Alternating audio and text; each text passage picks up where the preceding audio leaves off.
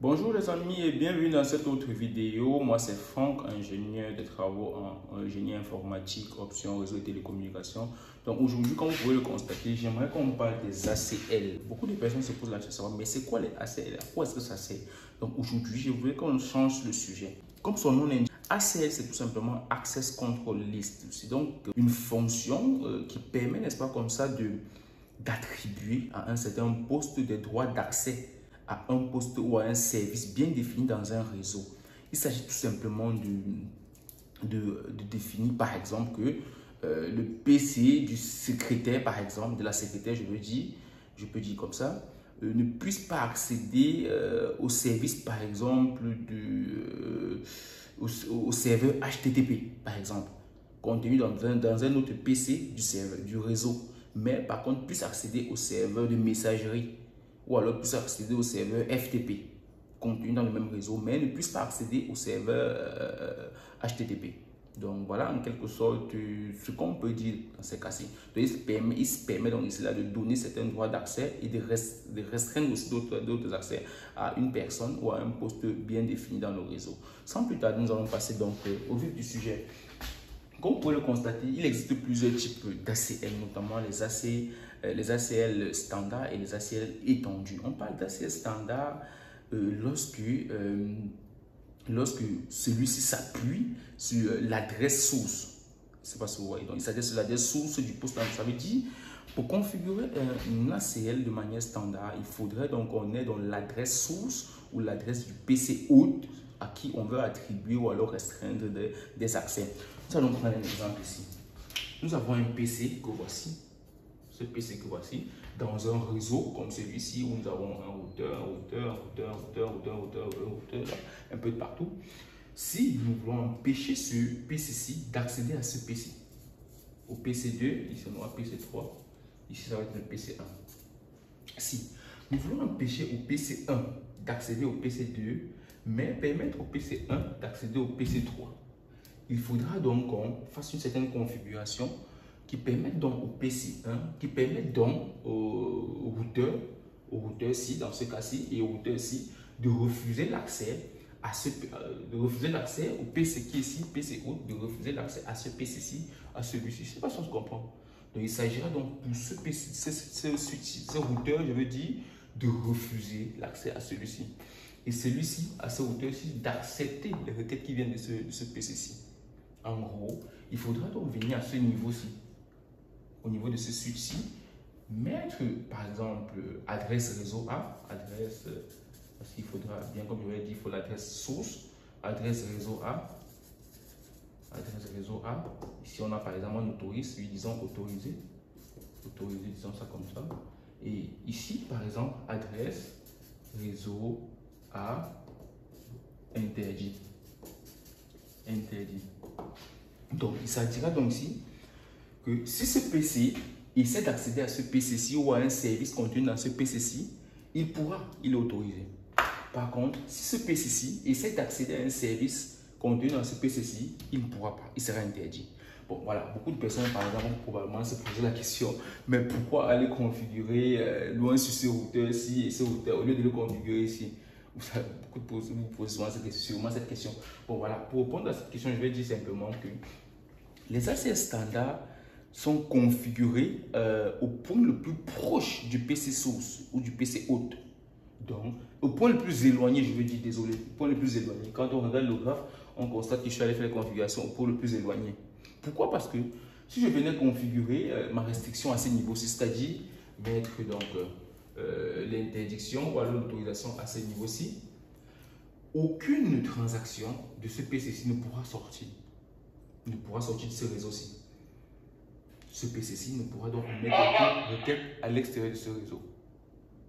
Donc, c'est donc pour ça que je vais donc faire la configuration à ces niveaux-ci, au niveau des serveurs. Cela permettra que ce PC-ci peut communiquer sur tout ce réseau, mais une fois que la requête est mise à partir de celui-ci, arrive à ce niveau-ci, ce routeur va refuser va lui refuser l'accès. Par contre, cette autre routeuse, c'est quand l'information arrivera cette autre routeuse va donner l'accès. Donc, les ACL standards s'appuient donc sur l'adresse de la machine haute ou sur l'adresse source. Ils s'appuient donc sur l'adresse de la machine haute Par contre, les ACL étendus sont des ACL euh, sont un peu plus précis. Ils sont un peu plus précis que les ACL standards. Pourquoi? Parce que eux, ils utilisent en même temps l'adresse l'adresse euh, du PCO, bon, l'adresse du PC hôte, disons ça comme ça, l'adresse source ou l'adresse PC hôte, l'adresse source, et aussi l'adresse de destination, l'adresse de destination. Et aussi à côté, ils utilisent aussi l'adresse du port, le port source, le port source, disons ça, le port source et le port de destination. Port de destination. Aussi, l'ICMP. MP, ils utilisent sans, et toute autre donnée qu'ils peuvent utiliser. Donc, en gros, vous voyez que l'ACL étendu utilise bien et plus précis que l'ACL étendu euh, standard. Cette ACL est bien plus précise. Dans ce cas-ci maintenant, pour configurer dans l'ACL euh, on peut le faire à ce niveau-ci. Pourquoi? Parce que l'information assez précise, c'est va faire à tel niveau? Je ne sais pas si vous voyez. Donc, on peut donc venir configurer donc, ces restrictions-ci à ces niveaux-ci, au niveau de ce routeur. Ce PC-ci ne pourra pas faire telle chose à, sur telle machine, parce que vous voyez, port source, adresse source, adresse de destination, port de destination. Donc, il dit le PC1 ne peut pas accéder à ce PC précis, à ce port précis. Donc, c'est assez précis comme information. Ici, on a aussi le l'ICMP qui va être le, écho-écho, la communication, les pings, vous pouvez mettre les pings. Donc ici, en gros, vous voyez que l'ACL euh, standard étendu et l'ACL standard, c'est deux trucs assez différents. On va donc retenir que en parlant d'ACL standard et ACL étendu, c'est que l'ACL étendu est bien plus précis que l'ACL euh, euh, standard. Maintenant, dans la configuration, j'aimerais aussi qu'on marque un point dans ce niveau-là. Au niveau de la configuration des ACL, on a ce qu'on appelle les ACL nommé avec les ACL numérotés. Un truc à retenir ici, c'est que euh, quand on parle d'ACL nommé, ça veut dire par exemple, je, je peux confirmer mon ACL et le en disant euh, euh, ACL bloque l'accès à Internet à ce PC, bloque, ACL, bloque accès à Internet à ce PC ou à cet autre PC. Par contre, on peut aussi ACL numéroté, ça veut dire je par exemple ACL 1. Mais dans ces cas-ci, les ACL numérotés ont certaines plages qui sont définies pour les ACS standards et les ACS étendus. Les ACS standards ont une certaine plage qui leur est définie et les ACS étendus ont une autre plage qui leur est bien sûr définie. Donc en gros, voilà ce que je voulais partager aussi aujourd'hui avec vous. Je voulais donc qu'on récapitule, c'était que les ACL permettent dans un réseau à donner ou à restreindre l'accès à un ou à plusieurs services dans un réseau. On peut par exemple euh, venir ici ajouter l'accès à Internet par exemple, mettre ce nuage ici Internet et on dit à ce PC-ci qui n'a pas le droit d'accéder à Internet. Ou on dit à cet autre PC qui n'a pas le droit d'accéder à Internet. Ou à celui qui n'a pas le droit d'accéder à Internet. Sais pas si vous voyez. On peut dire à ce PC-ci qui n'a pas le droit d'accéder à un service, par exemple HTTP, ou alors euh, FTP, ou alors euh, messagerie, ou alors plein d'autres trucs, par exemple. On peut donc dire que ce PC-ci n'a pas le droit d'accéder au service HTTP hébergé sur ce PC mais il a le droit d'accéder au service FTP ou alors un autre service sur ce, PC-là. Donc, il s'agit comme ça de plusieurs, de ce que c'est que les ACL. C'est vraiment de donner des droits d'accès à un ou à plusieurs services dans un réseau.